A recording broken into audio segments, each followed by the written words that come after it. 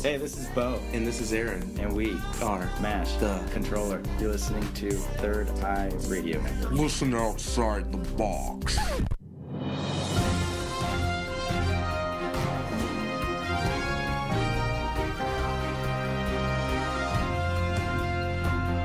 You're listening to the Third Eye Radio Network. This is the Mokita Report. The known unknowns of the known truth, unspoken. With special guests. And now your hosts, Northern Light Star and Dara. The Mokita Report. Only on Third Eye Radio Network. Welcome, ladies and gentlemen. This is your host, Northern Light Star, along with my man, my main man, Dara.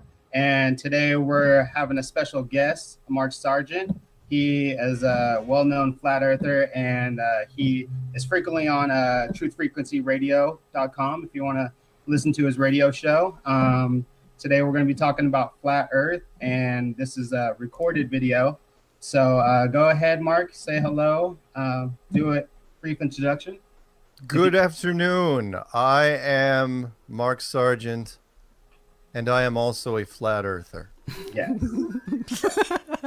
Welcome, Mark. welcome, welcome. Thanks for joining the show. Hey, thanks for inviting me. Okay, no problem. So, Daria, you uh, would you mind explaining how you wanted to talk about flat Earth today? Yeah, I wanted to cover specifically flat Earth because not too long ago I posted a video on the Third Eye channel and uh, no one has commented or responded to it yet.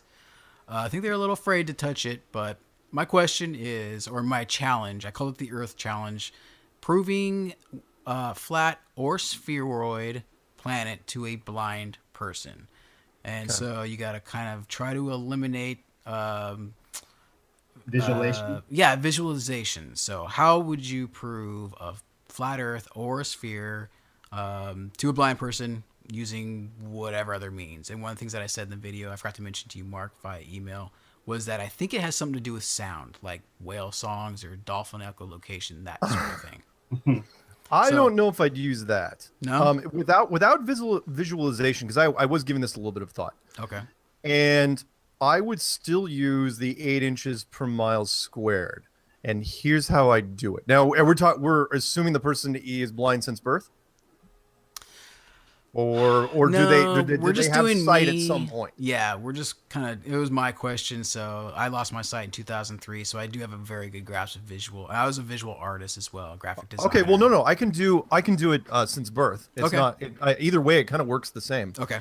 Which is because uh, people, you have to forgive me. I'm not used to this. Uh, do I say blind? Do I say sight impaired? Blind. I'm a okay, blind, blind. mother. Good. All right, blind. the, um, can't see. The man can't see. Right. The um, uh, for a blind person, they are familiar with touch and shapes. Right. So they can tell the difference between a cube and a sphere, mm-hmm. for example. So what I try to tell them is, uh, you know, first I'd say, okay, mainstream science is, is shows you that it's a sphere. Give them whatever it is, basketball, mm-hmm. right? And a basketball, you'd say that you, you could you explain to them in one sense, like, look, if you have you put your one finger here on the basketball, and then put your other finger, say, eight inches away on the other side of the basketball, mm-hmm. you cannot feel you know that that point cannot and i know i'm saying visual here mm-hmm. that point is in no way can because it's not because it's on a curved surface can is it within range of the other point to where it can be seen at all and I know again I'm using visual here, but I, this will work. Trust me, because again, once you can feel it, you get that. Well, I was just gonna say actually that makes a lot of sense because let's just say you take a bigger ball, okay? Yeah. And um, let's say every four inches on this bigger ball, you put something upright. That it can be anything, a, a, few blocks of sorry of Legos or whatever, right? And just yeah. glue them to the ball. Put your hand flat on the ball. That's your visual eyesight. Spin yep. the ball as you go along, and you should be able to, you know, hit the blocks, and that should exactly. be the curvature. Yeah. With a with a straight line, you you can you can only go so far on a curved surface on a sphere Mm-hmm. before your hand runs into something. If you use a hand or a piece of paper or whatever it is, the the a flat surface on a or a flat a flat surface, of course, representing the visual spectrum or line of sight or whatever you want to call it. One point cannot see the other point, obviously. You know, in fact, the the argument which which uh, globalists will like to throw in every once in a while is how come we can't see Hong Kong from San Francisco with a really big telescope? I go, well, that's an interesting question because technically, if you could get rid of all the atmosphere, because the atmosphere is the real problem, if you get rid of all the weather and make it a complete vacuum, you might have a shot Yeah. at seeing the the other side of that you know because at, at that point you've got no atmospheric effects no nitrogen oxygen mixture because remember we're breathing in really kind of a thin version of water Right. you know we're not we're not breathing in just oxygen and you then you might be able to and that that actually i think would work for a blind person hmm. meaning you know again if you, because they can feel the curved surface it would make sense in their head Yeah. it- again, I don't know what a blind person, if they, when they visualize things, they should be able to, to take into account. It's like, look, you can't. what we're saying is, is that there's objects that can be seen much, much further than what the curved ball would allow. Then, of course, you show them a flat disc, whatever it is, a, a dinner plate, Mhm. and say, on this model, it works. On Yeah. the sphere, it doesn't work. And so far, again, you know, the challenge I put to science, which I said earlier, which was show me an object, prove me wrong. Show me an object at 150 miles or less that you cannot see no matter what. Right. Show me a lighthouse. Show me a building that you take 20 people down to the beach, take them there every day for a month. No matter what happens, they can't see it. Well, can't see it. It's on the other side of the curvature. Yeah. Like, no, no, no. It's it's you can always be pulled back. Again, that's the big difference between 10 year go, 10 years ago and now. I'm not saying the the cool Coolpix 900 really changed things, but that type of camera really changed things Yeah. because now the average person for I don't know how much that thing costs. Uh, now the average person can go to any beach. Luckily for us, most of the population lives on the water. At the uh, go to any beach and look at an object that you should not see far away. Again, it's something we just took for granted. Yep. We all know the boats over the horizon thing, but uh, so anyway, the, sorry, going off track. For a blind person, that's the test I would use. I would show them. A, I would get, get them, uh, get them in the concept of a big sphere and how from one point to the other you can't feel your way straight across. One point cannot cannot see it. Let you where you however you want to do it. Hold a string, whatever it is. You cannot you cannot get there from here. Not, yeah, that's not what I was even- kind of saying. Like, if if the person could visualize their their hand, like the bottom of their palm is where they are standing, the tip of their finger is the end of their visual eyesight, right. and just move your hand across the ball, and at that point, you should be able to not see something or see something, for example. Right. Or or do you just go that far to just if they know what uh, they know understand the concept of firearms. Yeah. that would also work. It's like, look, a bullet only goes so far. If if if the bullet could, if you had infinite velocity, eventually you would run into the curvature of the Earth. Yeah. Eventually, but it doesn't. And in fact, which is why the um uh, my ex co-host Jonathan he mentioned when that thing came out that the Navy's railgun. Mhm. Uh, they were saying that they were targeting things over 100 miles away, but the railgun has no guidance systems. Right. It's a straight shot.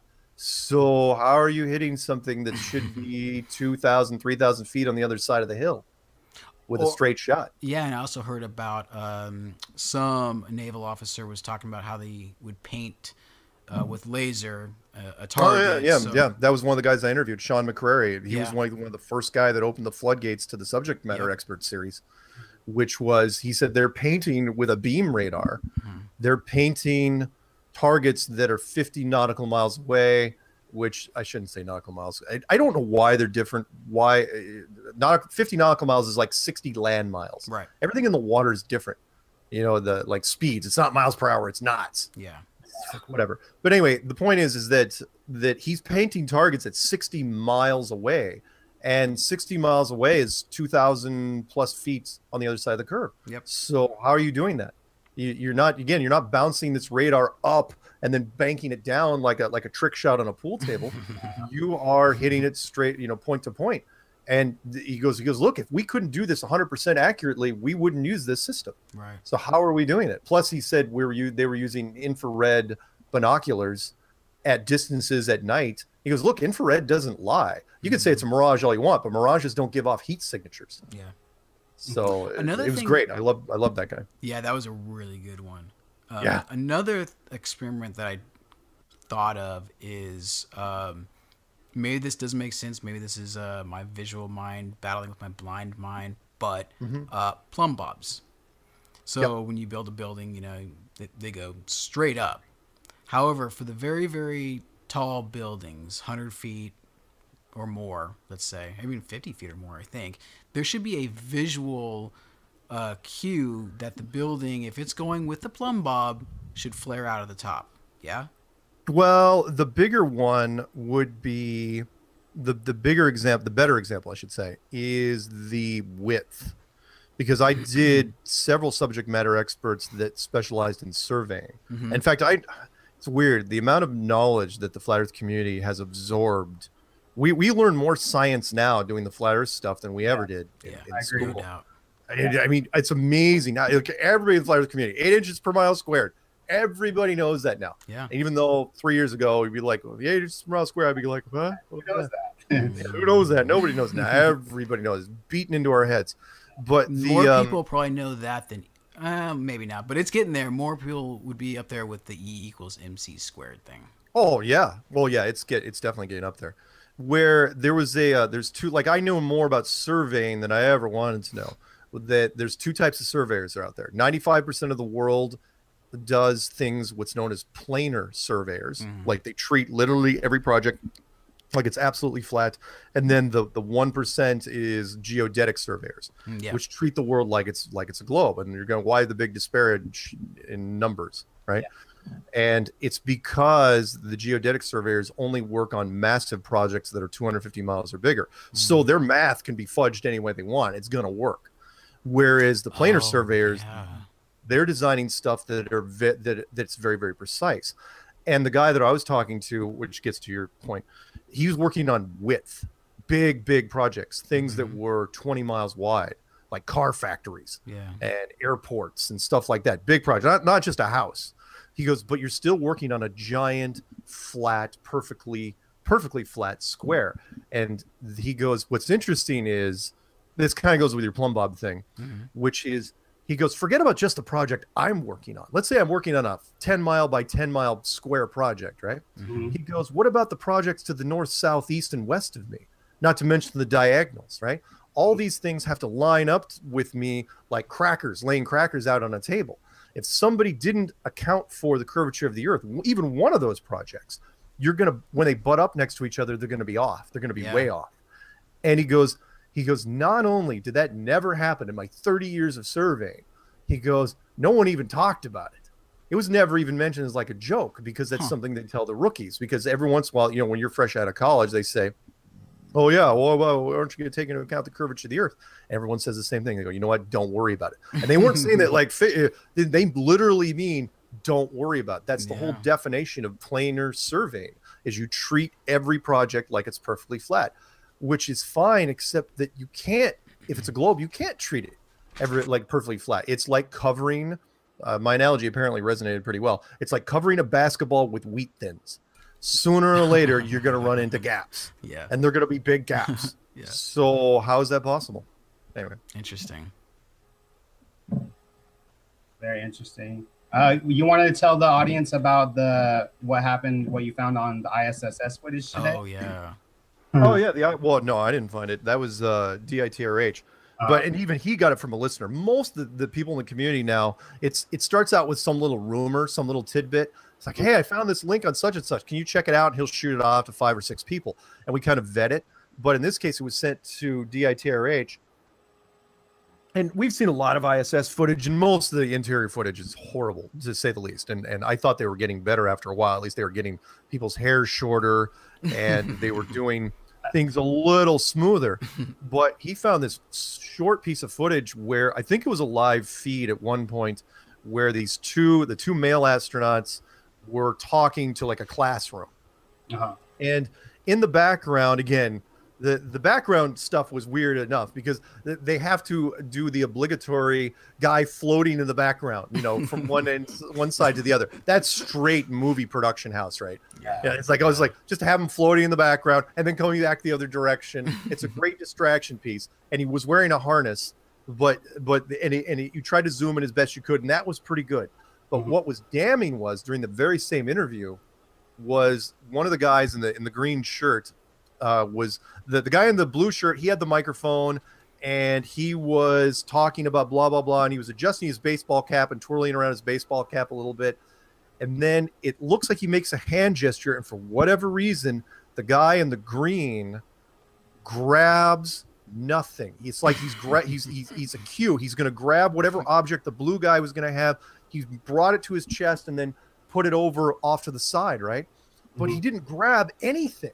Yeah. So he, he literally was grabbing nothing. So, eh, but he went through the entire motion. And you know, I, it, what happens in real life is like, look, if you grab something, if you don't grab something from somebody, that's it. The motion stops. Yeah. There's no follow through. You don't. It's it's you know the if the pitcher if the pitcher on the mound in baseball throws the ball into the dirt, the batter literally just straight down. The batter doesn't swing, right? and in this case, the guy completely he's like, oh yeah, gra-, and he did it in slow motion. It wasn't like a quick jerky movement. There was no hesitation. There was no backtrack Yeah. he wasn't fumbling around. It was like he was grabbing for the microphone, but the guy never gave him the microphone. So the CGI people didn't know what to do. So the CGI routine didn't run, but the mm. guy, but since it was a human being in the frame, he just made his move anyway.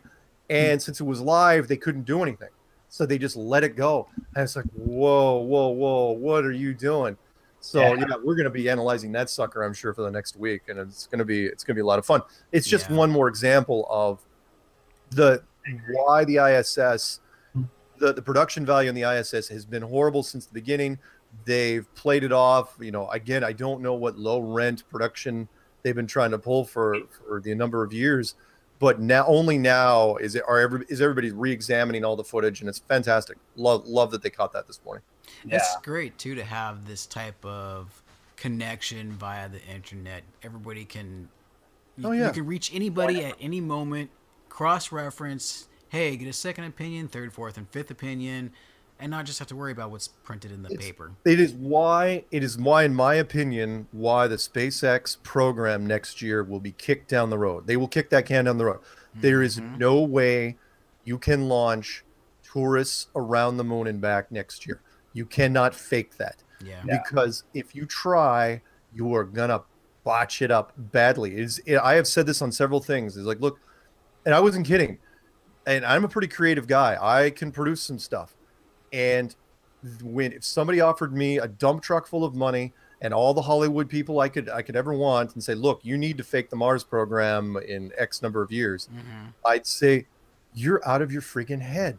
There's no, there is no amount of money that can that can be used to fake this. It's not about the money, as a matter of fact. It is about the production mistakes, which happen in every. In fact, the bigger the production is, the more guarantee you're going to have to make mistakes. Yeah. You guys think I'm kidding out there? Go. How many websites are there? Moviemistakes.com, moviebloopers.com. Type in uh, into YouTube. How many? I mean, Lord of the Rings had a freaking car driving in a high on a road in the first version of it before they went to Blu-ray.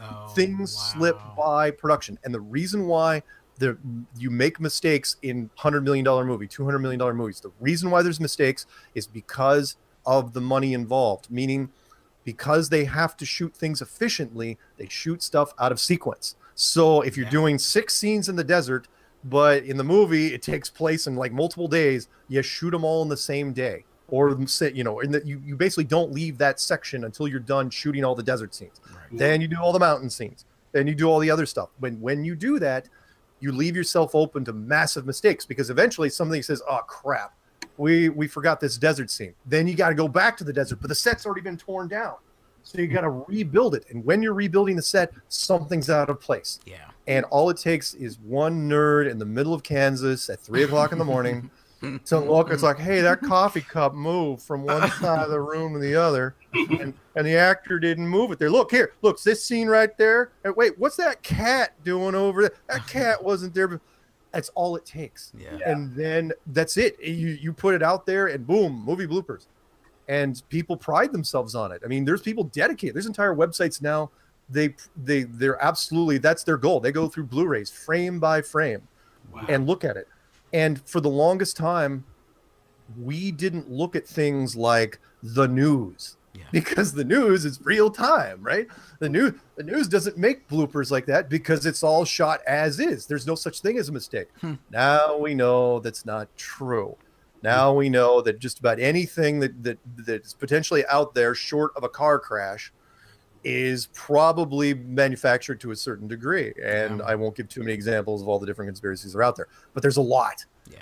Mhm. and now we're tearing it apart and the the iss which we never again nobody nobody doubted nasa for the longest time now we are dissecting every piece of footage look at that that 1983 footage that came out uh, what, last week. Done by a geoshifter where they were they were showing some of the 1983 shuttle footage. And the, the remember this was back before green screen. They only had barely blue screen. I mean really limited special effects. And there's a guy in the freaking background and turns out the shuttle model the, the shuttle image they were using when they were showing the payload bay was just a um uh just a uh, a physical model like star trek and star wars. It was tiny. And there was a guy in the Oh. background and nobody nobody caught it they should have never released that footage and you know and even though it was grainy vhs quality it was still easy to see and people oh no it's just a reflection it was like it was a reflection the guy was actually the camera was, was shooting from the window it's like if it's a reflection why wouldn't the camera be right up to the window? Why would you see anybody behind that? It's like yeah. the place isn't that big. You're not going to put the camera six feet back from the window and shoot it from there. Yeah. And plus, you're going to do it with all the lights out. hmm Uh, anyway, I like the footage that Jeran found about. Uh, it looks like scuba divers are in the background. There's some yellow stuff. Uh, oh you know, yeah, It's like yeah. The the ISS again. You know what? You who should blame for all the scuba diving stuff? Blame uh, James Cameron, direct the, the director of. Seriously, he should he should take a bow on this. Blame him, the guy that, that did Avatar and.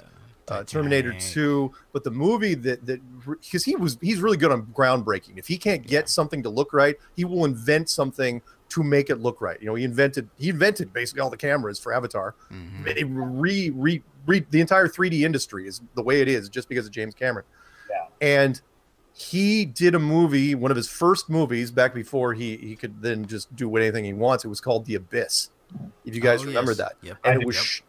It was brilliant. And and it sh- was shot underwater but they had to figure out how to show deep water which meant it had to be pitch black. Mhm. and he came up with the idea. It's like okay we'll shoot in a shallow swimming pool you know a swimming pool but we'll fill the top of the pool with layers and layers of black rubber balls which will completely block out light. Mhm, and it was because they were shooting in outdoor pools mhm. and that's how they did it. Now, of course, NASA they don't have to do that. All they have to do is literally turn out the lights because they've got a pool that's inside a building. So all they have to do is kill the lights, and and there's no windows in the place, and there's no light left in. But that's how they did it, you know. And, it's like, oh, that that because when you're watching it, you're going, oh, wow, it didn't have to be necessarily underwater. In fact, when it was interesting because when the uh, the last the last sequence in the abyss when he was going down and down and down into the trench he was wearing essentially a spacesuit Mhm. and I'm wondering, That's you know, right. while they're again the, the people inspire others, and why wouldn't they steal his techniques? So it was great, and it worked. Interesting. Dara, you got a comment? No, that's good. I'm good. What Um, else you got? Uh, I had a little opinion or theory um, on the footage of the ISS when it shows Earth, the outside footage. Um, everybody notices how fake it is, right? Yep. Um, on uh, Facebook, you'll see these uh, live feeds, quote unquote, and um, you know a lot of flat earthers get on and point out how fake it is because the graphics are so bad. Graphics are terrible. Yeah, and it's just obviously fake. And what I've seen on Facebook as well is like ABC or CBS, they uh they were showing footage of Aurora Borealis and it looked fake. You know, the plane was fake, and some people were catching that, like in mainstream people that you know don't believe in flat Earth, Oh they yeah, were catching that. So um, oh yeah. Uh, my opinion is that they were, um, you know, the elite or whatever were um, looking at these comments and seeing how people could spot out fakery, how easily, and I think they're keeping tabs on the people that you know are voicing their opinion that they can see the fakeness in this, and uh, they're Prob- keeping tabs. prob- probably the Yeah. um there's as far as keeping tabs there's only so many tabs you can keep because look it's out there and people just aren't buying it. But yeah are they reacting to us? This is the only conspiracy saying no where the powers that be have been reacting pretty much in real time Mhm. where you know this thing started gaining some steam in 2015 and this sure enough what happened in summer of 2015 the second blue marble shot was released. Then the shot of the earth or the moon transiting in, in front of the satellite in between the satellite and, and the Oh, earth and then the earth rotating on its axis and then the himawari satellite all were released in summer of 2015 Interesting. that that was no accident. But they still can't backtrack from things their previous work. Like Yeah. for example the, the one that i like to throw out to people now is forget about the blue marble shot. Look up the black marble shot. Those were horrible because the black marble shot was the earth at night. So from the dark side of the earth they were showing the cities that were lit up Yeah. but Oh when you my went down to australia you go you look at the western half of australia and it's lit up. Like wow there's a lot look at all the populations and centers in australia. But if you know anything about australia everybody lives on the coast. Yeah. the place is just a it's still a desert continent. Yeah. and there's no, nobody lives there. In fact the one of the brightest lit parts that they had down in the western thing was was a national park. And there's literally nobody there. And so they said well there were a lot of brush fires that summer there were a lot of a lot of things burning going really because the brush fires covered thousands of square miles and they happen to look just like cities do at night Mhm. they they generate that much light really seriously even was- from an airplane, you you don't see that much light on the ground. Like big city, yeah, but um, still No. as bright, even from an airplane. No, even if you did the the weird exposure that they claim they do, it was it was awful. But but yeah, what you're talking about, the, how they do respond in real time, they absolutely have been doing it. They they can monitor social media. They can well they, they have access to everything, so they can see if anything's tracking well or not. Again, which is why they've got to know by now. And I still don't even know why SpaceX would make that announcement. Maybe SpaceX went rogue and, and Elon Mhm. Musk was allowed to do it Mhm. but to try to fake a moon mission next year i mean this time next year where you know uh, with an untested booster an untested capsule pilots we don't know uh, uh, the the tourists we don't know we don't know anything about anything and yet they're going to try to pull this off i'm going how 4k cameras are so cheap nowadays Yeah. you get them free with a box of cereal. So why don't what, that that there should be 4K cameras all over this thing? How are you going to fake it? How are you going to fake the footage? How are you going to do it? You you're going to break every rule that NASA has held to over the last 50 60 years, which is you don't show any footage of Mhm. anything on a on a big scale. You don't show anything leaving the Earth. You don't show anything coming back to Earth. You don't show the Sea of Tranquility. You don't show where the moon buggies are. You don't show any of this crap. Uh, even though, uh, here's a little tidbit which I, I love to throw: Uh, the the Chinese, if you believe the Chinese, the, they've had a rover on the moon since 2013, Hmm. Running around there right now, right this second. You go to a Chinese website, you'll see a live feed. So why aren't they in the Sea of Tranquility?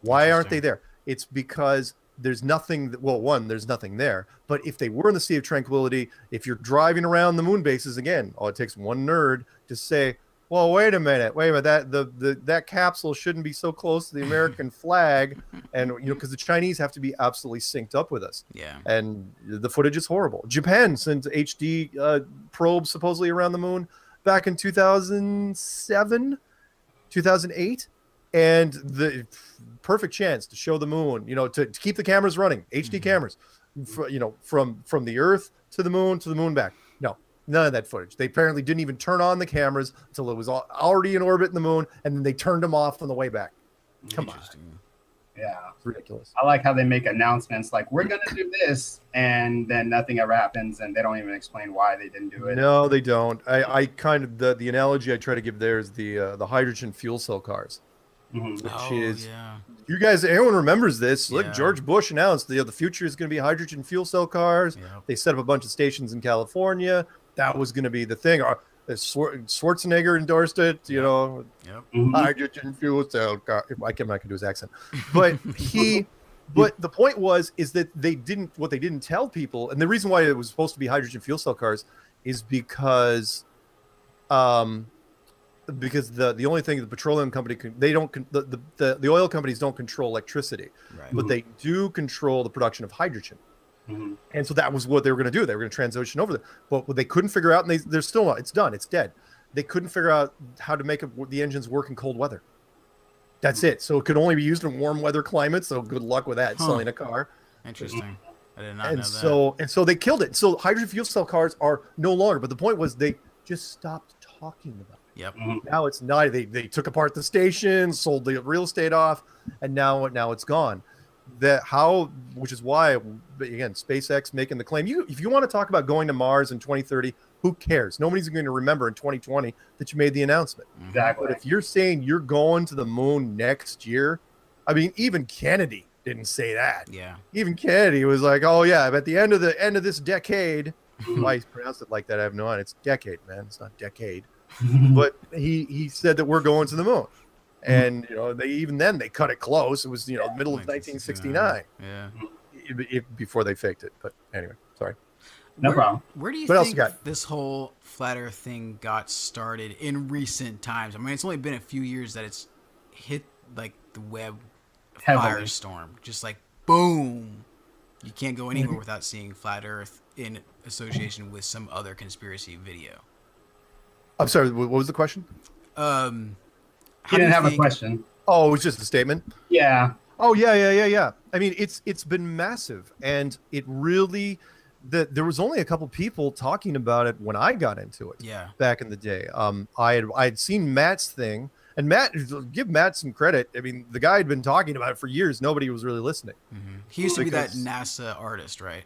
That was the NASA artist. Where again, I love the story. wh- You know, whether it's true or not, he's only told it once, and I do love the story where he was hired as a contract artist out of Montreal, Canada, to because he was. He, I, I, you got to give him some credibility for this. Where he's he is an excellent organic painter. Mhm. the guy can paint things that if you took pictures of them you wouldn't necessarily know again that was his thing photo or painting Right. he's he's that good and they hired him. It's like because he you he could create organic planetary things for for simulations. Now Mhm. there was nothing sinister about it back in the day but i love but he was the but he was telling talking pe- people about that for years. I mean enough to where he actually got a youtube channel called the nasa channel and he never gave it up. And then um, Eric Dubay was doing his thing at the end of 2014. There was a couple other guys over in Europe doing their thing, and when I got into it, again, I didn't invent flat Earth, not not by a, a long shot. But what I, all I did was I looked at it and I said, because I because one of my specialties, how I was trained was I was trained to take complex things and break it down into easy to digest pieces. That's mm-hmm. that's one of the things I was trained to do with software. Mm-hmm. And so when I looked at this, I was going, this flat earth thing's really interesting but it's still coming in like a like a slightly fuzzy radio station and you know people don't listen to fuzzy radio stations it drives them insane so all i did was literally walk up and turn the dial you know an eighth and it came in clearer and then people were like going what is this music? What? This station this is incredible. It's like dude the station's always been there. Yeah. you just haven't heard it and i didn't think it was gonna honestly i didn't think it was gonna resonate as well Mhm. with people but it did because he, because here's the here's the big reason why it resonated in my opinion and it, again it had nothing to do with me it was because when people tried to kill the message when they tried to kill the idea they tried to lean eventually they're going to lean on nasa. And that guy from britain the uh, that that uh, heart, park what do they call it? Parkour skater. His line uh, he was interviewed on a fairly mainstream show over there. And he goes the problem was if you lean on the space programs you're gonna he goes what you find over there he goes is really thin Yeah. there's not much there he goes and and he was reinforcing a point which i said there, there should be mountains and mountains it should be an entire warehouse full of boxes full of stuff and when you walk into that warehouse to shut down flat earth you realize all the cardboard boxes are empty Yep. There's a few brochures laying around there's some packing material here and there but for the most part it's just empty boxes. And then you get really disheartened because it's like a whoa whoa whoa. This thing it's i i try to use also the other analogy i've been playing with is the boxer analogy. Mhm. science is a 500 year old behemoth and should be able to knock flat earth in the first round, first minute of the first round, and every minute that Flat Earth stays in that ring, the guy, the the behemoth on the other side looks worse and worse. It's like because everyone in the stands is like, wait, why isn't he knocked this? Why is this? Why is Flat Earth still in the ring? And you know, we're in round two, we're in round three. This guy's still in there. What you know, what the heck happened? And it, he starts to look weaker and weaker and weaker as he goes along. And uh, again, that's where we are now. To where well, the conference is coming up in the fall. There shouldn't be a conference. There's, no, there's never been in the, a conference, in, a flat Earth conference in the history of the United States. You know, you know, 500 years. I, the, Europe, I think, tried to do one up in the Netherlands recently. But yeah, 500 years. There, there's been almost nothing, and now we've got a full blown international conference coming up. Mhm. So I remember uh, distinctly back in third grade, our teacher saying, "Oh, um, they went in space this year, and they went out this far, and then they then they saw this and showed our textbook with it, which had a picture of the blue marble, you know." Yep. And and it was it was like they were presenting it as it was a fact. And nowadays, you go to NASA's website and see that same picture is the artist, you know, conception of the Earth. It wasn't a fact. the Apollo 17 photo is considered one of the most widely reproduced photos in the history of photos. Mhm. ever and which is amazing because you know people again still come as that one guy came to me and and said that that you didn't need to see take the picture. In fact even neil degrasse tyson like said that that you didn't need to take the picture to prove the earth was a globe. It's like oh yeah you did. Me too. people i don't care what you say with matt. The problem was in fact i debated a guy just recently who had a master's in mathematics. Hmm. and he was you know again it's the conditioning where look the lowest common denominator out there the people the, the people that are the, the average person on the street math means nothing to them you want to know why science is losing is because you removed science from so many aspects and uh, easy easily accessible science to the to the man on the street that now even if you have an argument that argument is just they're just hearing static Yeah. and so flat Earth, it's like uh, you know people say, well, you got math and trig and calculus. I mean, seriously, the eight inches per mile squared that gl- that glazes over people. Mhm. People just freak out when they hear that. It's like, oh, I don't remember my algebra. It's like, no, you're damn right you don't. It's like, eh, but all we have to do is like, look, here's a picture of the Earth from space, 1972. Oh, here's a picture of the Earth in 1990. There isn't one. It's a trick. It's a trick statement. Mhm. And we throw out stuff that's so easy for them to understand and so uh, so accessible that science is just having a devil of a time because they just don't have the tools to fight it. Mhm. And which is why I'm, I don't think it's an accident. Neil deGrasse Tyson just re- released his Introduction to Astronomy, brand new book, you know, Mhm. to kind of coincide with Earth Day and, you know, pro science. Like, good luck. Introduction to Astronomy, that's too little too late. Not going to happen. Bill Nye Saves the World television show, too late. Is not going to happen. Plus, that thing's got a whole nother agenda anyway. Yeah, you should So- go to the uh, International Movie Database and look up Neil deGrasse Tyson and look at all of his accolades. Oh yeah, the man. The man's never done a debate. Mm-hmm. He has been in more mainstream movies than every other scientist combined. Yep. Big movies. I mean, not small movies. Mm-hmm. You know, it- the fact that he was in Superman versus Batman just insulted me as a comic book store owner. Mm. It, it was just, it was just horrible. you, you know, I, I keep seeing him in different productions. It drives me insane. He was literally the last shot in Zoolander 2 before they ran rolled rolled the credits. Why? Why is he the last shot in Zoolander 2? He is he is the face of science. That's all he is. He's an actor. He will not do debates, and he um yeah he did get his PhD in astrophysics, but he's really let's call him what he is. He's a presenter. He's a guy that they put on stage. He has excellent stage presence, no question. And, and I'm not being racist when I say this. He is a cross between Bill Cosby and Sinbad the comedian. That's what he is. He, he, he could go up on stage and he could pitch anything. Hmm. He could pitch boots. He could pitch television shows. He could he could pitch a no hitter. That's a total trip because I had no idea what skin color he was until you just said that. Whether no one has ever told me. Well, he doesn't. He doesn't sound though super white necessarily. Well, to me, he sounds like, um, honestly, he sounds like uh, that stoner from all those movies. Cheech and Chong. No, no, no, no, not that old. Not that old.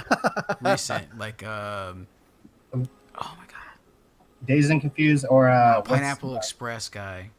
Oh, Oh, right, right. Pineapple Express, uh, DeFranco, or no, the other guy, The other one, Seth. Seth Rogen. Rogen. Se- yes, Seth Rogen. Thank you. Seth That's what he sounds Oh, like to me. It's sort of like Seth Rogen. You're absolutely right. Good, good ear. So I I, didn't even think about that. But yeah, Neil Neil deGrasse Tyson, he's just and and he can't debate.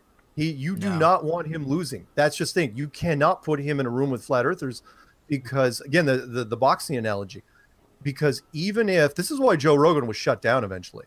Mhm. If even if he doesn't torch that flat earther, if he doesn't shut him down in 10 minutes, he's lost. yeah. It's not. It's not that you know. Forget about the flat earther winning or a draw. He's got to win. He's got to win fast. Mhm. And if he does not win fast, where the flat earther's like, "Oh, he's got me," it must be a globe, and walks off the stage. If he that doesn't happen, then science is lost, and there's nothing they they can't. They do not want to see that because again, what we're talking about the internet, it will stick. Yeah. That thing will be passed around in two seconds. So, which is why no we are it's almost impossible to get science to debate this Mhm. because if they've done their homework at all they know that yeah I, you might be able to throw a couple points out there that you know that might but we've got way for every one you've got we've got five Yeah. Yeah. and they can't answer them and i mean seriously what's a scientist i mean the the the um the stanton friedman interview that i did where i was throwing him the, the trap question about the van allen radiation belts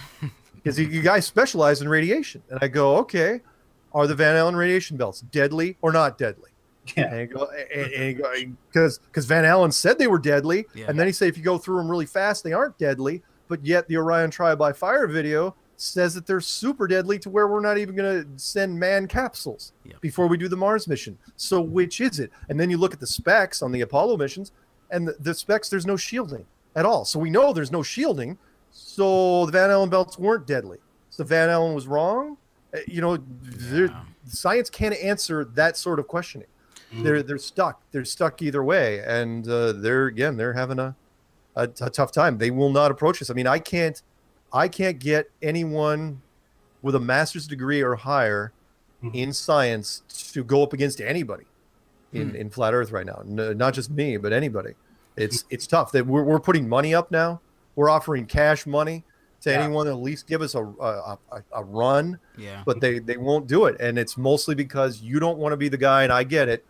Um, uh, you know i've got friends who are, who are academics who say that look they've spent too much time and too much money on their education. They've got the letters next to their name. You do not want to be that guy No. You don't want to go down you don't want to be the i'll use the michael jordan reference you don't want to be posterized Yeah. you don't want to be the other guy in the picture while michael jordan's dunking on you Yep. Mhm.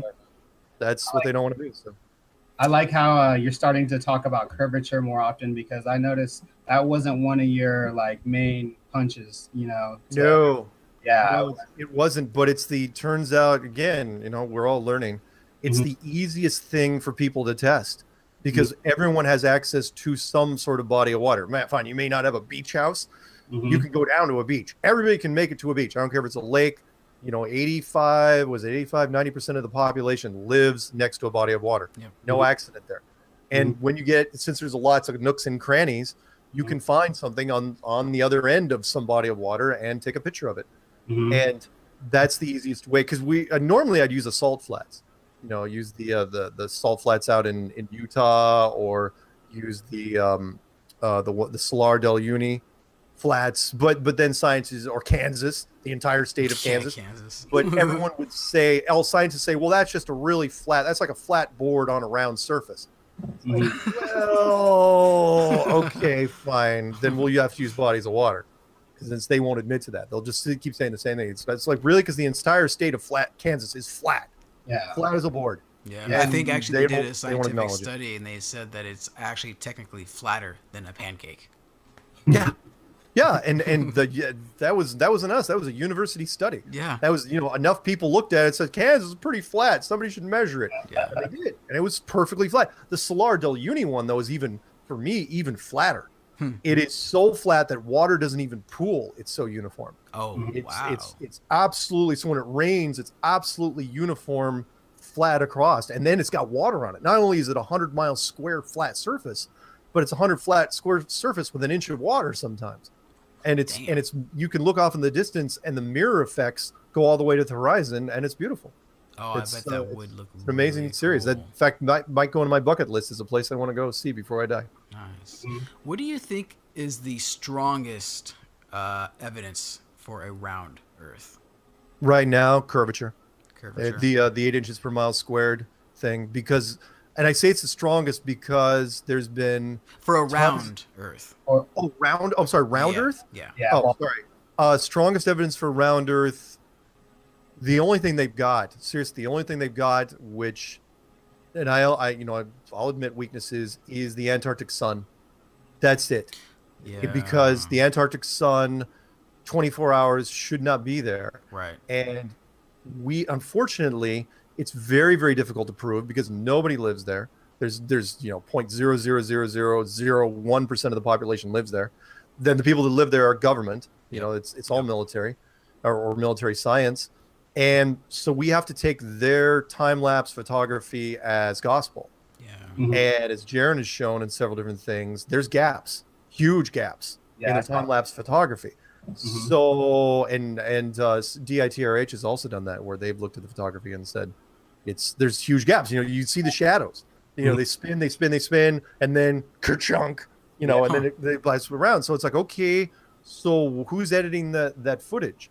And their excuse is that it's it's too dark to see. You know. Yeah, too dark to see, or they don't have the bandwidth, or you know, they made up all sorts of crap. Yeah. So that's that's probably the weakest of the arguments. Everything else, everything else, we've got a great counter for, which is gr- Mhm. which is fantastic for us. I mean, we've got more counters than they do have offensive weapons. Yeah. Mhm. That's that's the only thing they got. Um, the the rest of the stuff they have, the the the proof that it's a globe is usually just the myths that have been perpetrated over the last several hundred years. Boats going over the horizon. You go in a plane far enough, you'll end up back in the same spot. Mhm. Uh, NASA. I mean, let, let's face. it, Let's call it what it is. The the the most the the biggest proof they have right now is NASA's foot limited footage. Mhm. That's all they got. I mean, seriously, they'll they'll show, which is why they had to release the stuff that they did in 2015 because you couldn't you couldn't keep going. Eventually, I will say this: they they are some, they got some very very smart people there at the top, where they couldn't use that 1972 picture now. Mhm. They had to release the the footage as quickly as they can. I'm still trying to figure out though why they're having such a hard time, even with supercomputers, creating a model where they show the Earth spinning and the weather morphing at the same time. Yeah. Like, look, this this can't be that hard to do unless they figure it's it's just way too hard to get all the stars. If okay, fine, if you want to leave the stars out, try to get the weather to where the weather matches because you have to date time date stamp it. Oh yeah. And eventually it's like, well, there was no hurricane over, you know, this part of the ocean during this day, you know, because there's people everywhere. You'd have to get the weather perfect. And I don't think they um they've got the people to make that happen for whatever reason. Either that or they want to get caught. Part of me still thinks they want to get caught. Because they could again, they could have repressed this thing uh, to where YouTube didn't recommend it to people, to where the search engines don't show it up. Oh yeah. The again, type in into any search engine, type the earth is. Yeah. What do you think shows up at the top of the list? We didn't deliberately do that. Yep. That's just now the, the side effect. Or type in something as, as innocuous as is the. Is the shouldn't type shouldn't fill in with is the earth flat, but it is. and that we didn't do that. How many people have told me that, oh yeah, I was watching a video on um on JFK. I had it running in the background, and now because of the auto play feature in YouTube, all of a sudden they're doing dishes. The next thing you know, they're watching, listening to Flat Earth. Mhm. That shouldn't wow. JFK shouldn't be linking to Flat Earth because most of the time we don't even put the word conspiracy in the title. Right. So, but that's uh, yeah. There's way too many people that are being exposed to this. That uh, again, if you were the powers that be, you could have you could have stunted this thing into the ground if you wanted to.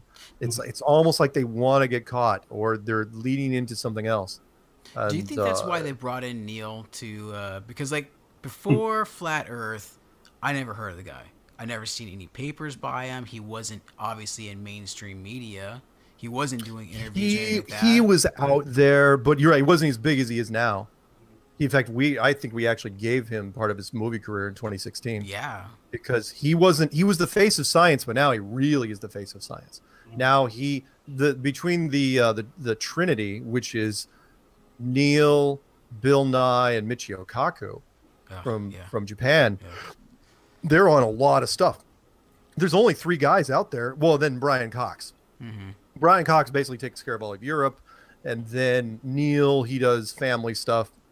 I'm sorry, Neil does does science institutions. Bill, Bill Nye Nye. does the family stuff, Yeah. and Michio Kaku basically lives on CNN Yep. and Fox, and every once in a while goes off to other things. But yeah, Neil is not a. Um, he's not. He's he's a manufactured celebrity, but Yeah. but the big indicator, the big giveaway for him is he will not debate. He's never done a debate Mhm. ever in, in the history of of of his career. He's never sat down. You will never see any footage of him arguing with somebody else. That's not his role. His role is to go stand on camera, say that science is good, religion is bad. Oh, and then my favorite line is uh, that science is right, whether you believe in it or not. Oh wow. And that was one of the most arrogant things I have ever heard. He said this more than once because he's saying that, that science is fact. And once it's a fact, it's a fact. And it's like, well, unless it's not a fact, Yeah, yeah, exactly. you know, you, you it's not like science hasn't made mistakes in the past. Uh, he And don't says tell- himself too that we don't even know what gravity is, but we we Yeah, know the I saw effects that. We can it. we can only say what it does. yeah. We can say what gravity. Well, obviously, you know, you drop something, it falls. Yeah. We can tell you what gravity does, but we can't tell you what it is. That's- which is that's why when they come back and they say, "Well, what's what's gravity on a flat Earth?" I go, "What's gravity on a sphere?" Yeah. You can't tell me what the, what it is. Mhm. Uh, yeah, it's mass pulling it towards the center. Go fine. Gravity's mass pulling it straight down on a Yep. flat disk. It works the same way. You know, don't. Uh, and then, of course, again, don't get me started on um, on science. You know, pe- again, I'm not bashing science. I want to I want to be straight on this.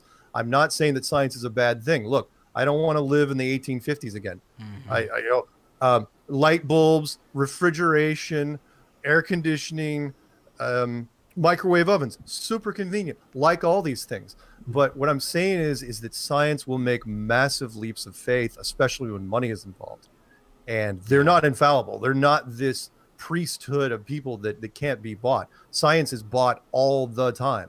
Mhm. If you don't think that, think of the scientists. Well, think of products that went to market.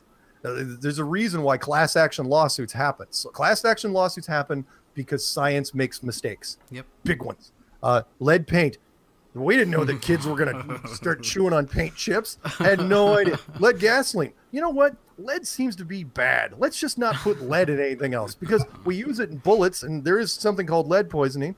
Uh, DDT. Uh, people forget about DDT. They sprayed that. You know what DDT was initially for? Uh, it was, it was to wipe out mosquitoes. yeah. It, it was it was to wipe out malaria in the United States. Let's spray it over five million homes. Hmm. You know what? Seems to be carcinogenic, and it wipes out entire ecosystems. In fact, we almost killed. There, the reason why the bald eagle was an endangered species was because of DDT. We almost wiped out the national bird Yeah. because of what we did. Or, or my favorite. Let, let me let me end this rant on this one. My favorite is the the fact that science scientists came out and said that cigarettes were fine. Yeah. Cigarettes didn't didn't kill you, and that went on for a long time. Television commercials, mm-hmm. Flintstones advertising cigarettes, and the only reason that it was curbed was because the health industry, bigger money, got was getting their asses handed to them because they were paying for all these lung cancer treatments. Yeah. And they're saying, you know what? Let's do our own studies. Oh, look, cigarettes will kill you dead. So then they came back, and but you know, again, so much money that even after that, yeah, fine. It's not. There's no more television commercials, no more radio commercials. You don't market them to children anymore, roughly. But at the same time, the cigarette companies are still here Yeah. because there's there's just too much money. So you know, as far as in fact, I I should look this up after I'm done. If like other countries even have warning labels. With the uh, Good with, point. Probably not. I'm probably guessing. not. Yeah. Bec- I mean, why? Why? I mean, the Americans did it, but the um, what they what the cigarettes companies didn't know until later was, and I'm not knocking you guys if you smoke. I was, was that one out of five because smokers are smokers, plain and simple. The um, is that one in five people smoke, regardless. Huh. The, it's it's it's still 20 percent in this country, and and it's it, the one no matter what you do, no matter what advertising, one in five people is still going to smoke. It's a hardwired thing. Mhm. Don't know why, but that's what it is. But the cigarettes company should have could have saved a lot of money and heartache by just saying, you know what, we'll just Yeah. do whatever, ca- cave in, and Uh, the legal fees were pushing, I think, a billion dollars. Yeah. yeah. So, anyway, sorry, what were we talking about? Shoot, man, I don't, I don't, I don't know. That was some good information, though. Says- says- Oh yeah, science. Yeah, the, again, science isn't necessarily bad, but they make massive leaps of faith, and they should own up to it. This is one of those situations, though, where again, I'm empathetic. I get why they're trying to hold on to it mm-hmm. because they they put this out there for so long that science. That all honestly, if you're a scientist, you do the same thing. You can't you can't g- let this thing go down without a fight because it's going to hurt science so badly mm-hmm. that people the, the credibility people's faith in science there- there's Yeah. so many things you'd have to re because you have to reopen a whole bunch of other things everything. everything I heard everything science has ever said I heard a talk somewhere along these lines where that uh, if that would to crush science, then that would you know lead more people to the church, and so there's this there was this huge debate about the the science versus religion type of thing. you know as much as i'd like to say that it's 2017 and we've become more evolved Hmm. I, I did build this in the clues which is a warning to religion Yeah, which is like, look, I know that your first instincts are going to be grab your pitchforks and your torches and go to the local universities and just start burning things. I know that's what should what your first instinct is going to be because science has been ruthless Yeah. against religion for Yeah. a long time, and they have had and and this is. This is was, was the line from uh, Devil's Advocate. It's like, you had a good run, science. yep. had to end someday. Mhm. That's pretty much what this is going to turn into. As as much as because and it'll start out slow. Uh, you know, there'll be religious leaders will say, "Well, you know, show restraint," but this three Get months 'em. later, those same leaders are going to be like, "And we knew it all along." yeah, yeah. Those unwashed heathens in those universities. It'll be ugly and, and they'll- there's nothing you can do. That that's going to happen. Yeah. look it's people people fight for revenge. Mhm. and there's I, there's been a lot of very hurt people over the years because science has berated any all forms of religious faith. Let- let's face it. And so they do they have a right to be mad? Yes. Do they have a right to destroy science entirely and turn us back into an amish civilization? Probably not. No. I don't think that's ever going to happen. In fact, the Amish will go through this and they won't even know anything happened. How does the uh, religious aspect or spiritual aspect play a part for you in flat Earth? I was, and I would have, you've probably heard me say this on other things. I was, I had fallen away from spirituality, Mhm. fallen way away. I mean, I was, a, again, I was about as nerdy as they come. You know, I played video games for a living. I owned a comic book store. I hosted Magic the Gathering party. I Air high five. nice. Yeah, I was. I, I still I still have a Warcraft character, you know, which I will probably log into after this is done. Um, because I got dailies I got to take care of. There's, I mean, I got all. I mean, I've watched every science fiction series you could ever imagine. You know, forget about just the Star Wars and Star Trek. Every episode of Stargate. Uh, You know, all the Battlestar Nice. Galacticas, all the you can think of it. I although I will say I never watched Farscape, but that's a whole nother thing. That's, that's like what was that Steven Steven Wright joke? I like to play every anything the everything the Beatles ever wrote. I'm not going to play all of Hey Jude. that's sort of like the Farscape for me. Where anyway, so when it came to so yeah, super super nerdy. So so religion for me became more of like eh, religion. Mm-hmm. But once I got into this, I understood. I got a whole new perspective on religion Yeah. and spirituality, which the big thing was, is I've always felt it. We've Yeah. all felt that Yeah. somebody's been looking over our shoulder for a long time. Everyone's felt it. And look, look, you can be hypocritical all you want. When the chips are down, people pray to something. People who've Yep. never gone to church in their life, they're Mhm. praying to something. You're in a car that's going underwater and you can't get your windows down. Oh, you better believe you're you're, you're saying a prayer yeah. right? So when it came to this, I got it. I told, and and what you know what did it for me was the astronauts thing Yeah. because when when the Mhm. Apollo astronaut, which is why they don't tell astronauts anymore. You, the Apollo astronauts, I think it was a kind of an ex, not even an experiment. It's like, yeah, these guys can take it. They're heroes for God's sakes. Like tell them, oh yeah, by the way, uh, the Earth's flat. God's probably real. All right, do your job. Yeah. Which sounds great in theory, but then all of a sudden these guys start. It starts sinking in, and Yeah. people think the same Yeah. thing, which is, okay, do you do something bad? And it, keeps working back. It's like, okay, fine. I'm never going to shoot anybody again. Not that Mhm. I've shot anybody, right? I'm never going to commit a hate crime. I, but then you just keep working your way back. It's like, okay, what, wh- you know, what would I do that was bad? What malicious act am I going to do? Not put your What hand I- in the Bible.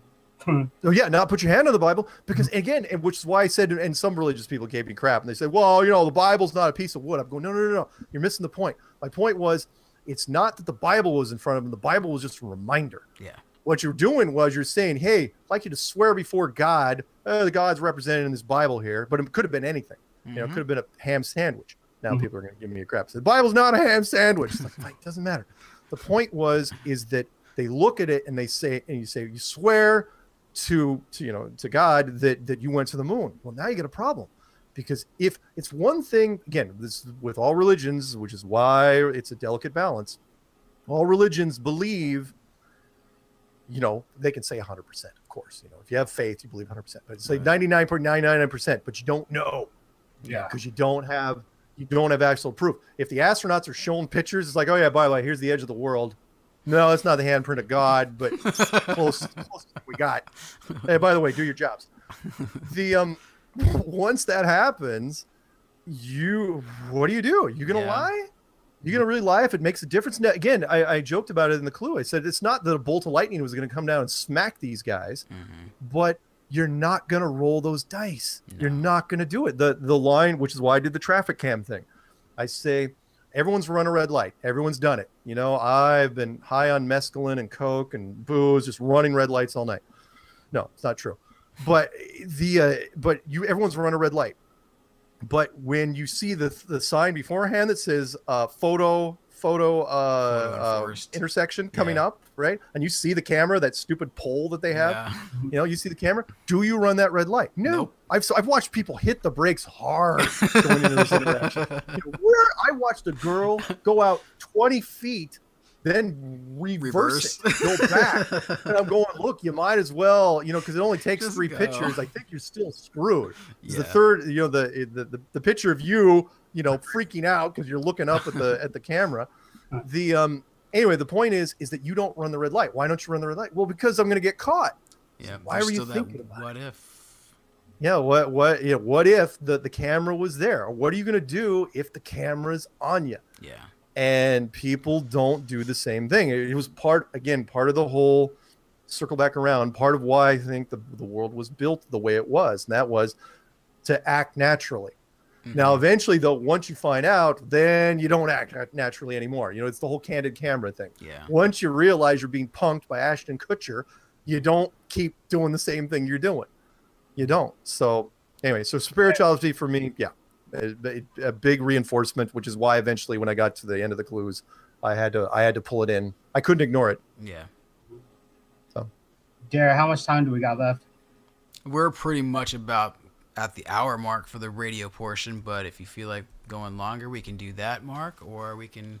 We pretty much got everything covered, I believe. Unless you have anything else. Uh, yeah, you got any parting questions? That's fine. I mean, I can go a little longer, Okay. but Uh, I just got a comment that the average people will not believe in flat Earth, and that sucks that they were conditioned like that. I mean, the, the the average person though is is yeah they're they're usually mouth breathing troglodytes but at the same time condition can be broken no no question. Don't worry about that.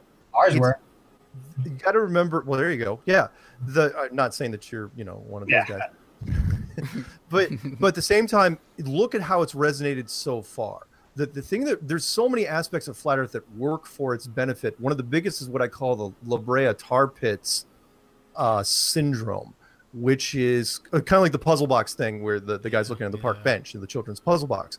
La brea tar pits whether you're your friend or foe you see somebody in the in the tar pit struggling you're like oh i'm gonna you know, we'll, we'll, we'll do the friend part i'm gonna help him out you get pulled in then the next guy comes along oh i'm gonna help him out and it's just this chain reaction Yeah. it's the same thing we see time and time again with flat earth Nobody agrees with flat Earth right away. Everybody says the same thing. It's stupid. It's mm. the dumbest thing ever. And you're stupid for looking at it. And you know what? I'm going to give it three minutes when I get home and think to myself how stupid it is. And I, then I'm going to be dumb enough to type in something in the search engine. And then you're going to watch a video for five minutes. And then, oh, I don't know, five days later, when you haven't gone to work and you're like, oh, holy smokes. Seriously, I had that moment, and so many other people. You have that. It, it's the it's that snap light bulb moment Yeah. where all of a sudden you're watching the video and you're going, and it, it dawns on you. It's like, Yeah. oh, How come I didn't get this before? it's real. It was the, it, you know, it's the ultimate street ma- ma- magician trick. You know, everybody fell for it. Everybody fell for it because why wouldn't you? The uh, let me let me let me throw this in there. The reason why I used the movie again, I love movie references. Uh, M Night Shyamalan's The Village Mhm. is that we can do that movie is timeless in my opinion. Absolutely is timeless because it can work today, it can work 40 years ago, it can work 40 years from now. And that is you take a group of kids, you create a village And a and and and a boundary and you tell them where they are, why would they doubt you? They are not Yeah, they're true. parents. And and what's interesting about the village, here's where it gets creepy. Mhm. Kind of like the Truman show. What's creepy is in the village is once those that first group of parents, the one that puts put them in there, once they got older and died, no one's gonna know. Then everyone in the village is gonna think they're in the frickin' 1800s in Pennsylvania, not realizing it's 2010, you know, in the United States or whenever it is, not ma- realize it's modern day because the the line that was in the Truman Show, we accept the world that is presented to us. Yep. If you show a six year old a globe, what is he going to believe? He is never going to question it. 12 years Mhm. later, he's graduating from high school. Oh, by the way, it's still a globe. Got it. Thumbs up. It's still a globe. I'm out of here. No one's ever, ever going to question it. And what when I when I did the clues, what I when I was doing the thought experiment of how it how it expands outward, the bigger model you make it, the bigger it gets, the easier it is to where you don't need any actors at all. It's not Yeah. like the Truman Show where everyone's in on it except for Truman, which is a bunch of crap, by the way. You could have done 50 kids, but I know that doesn't make much of a movie. Mhm. You could have, once you get up to about a thousand miles, you can make it, uh, you can make a, a huge amount of people believe in this. And if you make it so big that even modern technology, like air travel, like you can go for, fly from one place to the other, then literally you can convince the entire population. All you have to do is have the people at the very, very tippy top not tell, you know, not tell anybody. Yeah. Um, sort of like uh, I heard. Let me I, one more parting shot, and then you guys have some questions if you want. Which is um, uh, a little underrated movie, which a lot of people haven't seen, is uh, Bill Murray's City of Ember, City of Amber, Huh. City of Ember. You have to look that up. Where they were in a bomb shelter. You didn't know until spoiler alert. Mhm. uh, where they were in a city-sized bomb shelter underneath the ground after a world war, which you never even saw oh, and they were down there. But what happened was the automated systems that were, to- were supposed to tell them that, oh yeah, by the way, you can leave now, uh-huh. never kicked in, and so Oh, they were down there for hundreds of years. You know, with an entire ecosystem and the whole nine yards, never even knew the world was out there. Huh. And some kids that finally stumbled upon it only because the city was starting to fall apart because the city was never supposed to last that long. Mhm. And the automated, but the automated systems had failed after whatever number of years. It wasn't. It wasn't even. I think it was supposed to be fifty years or hundred years. But the thing had broke. The point is, is that as long as as long as a couple generations pass, the Mhm. people believe anything. Yeah. And so that's what we did. I mean, seriously, 450 years is such a long time. Most people can't even trace their family history back 200 years, let alone Right. 500 years. That that we believe everything that is that has been said to us by authority. Why would we question it?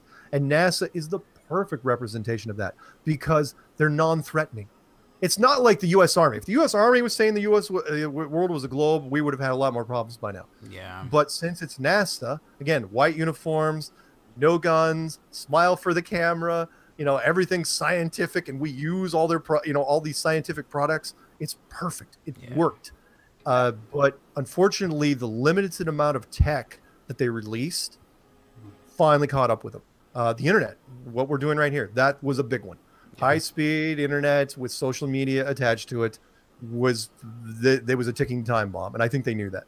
Mm-hmm. So I mean, the rest of it, seriously, we, where are flying cars? Where are the Jetsons cars? They, they we should have had them by now. Yeah. We didn't. Automobiles have not changed in a hundred years since they were invented. Have not Yep. changed, Yep. and the guns haven't changed. We with all the stuff that we talked about in future movies, even 50 years ago. Uh, are- look look at this. Look at the television show Space 1999, which was about moon base. not only not only we have a moon base, but the moon base had a catastrophe and shot the moon out of orbit and started slinging itself out into the middle of nowhere. Yeah. You know, where where was that future? It never never ever happened. We're in the same place now that we were in the 90s, technically. Anyway. Yeah. Yeah. Everything Anyway. just looks cooler. Yeah. Any, uh, anything else you guys got? I'm No. good. Well, not for me, Derek. Cool. No, that that should do it for this episode of the Mokita Report. So thank you everybody for tuning in. And Mark, I want to thank you. Mark Sargent. Yeah, thank you very much for joining Hey, it us. was my pleasure, guys. Mm. It's always always good to talk flat Earth. I love doing it. Awesome. Thank you. And uh, hold on, you two, for just a second while I close out. Thank you, everybody, for tuning in to the Mokita Report. You can catch this in the Mokita Report playlist on youtube.com slash user slash Third Eye Radio Network. Have a great week, everybody, and see you next time. This has been Third Eye Radio Network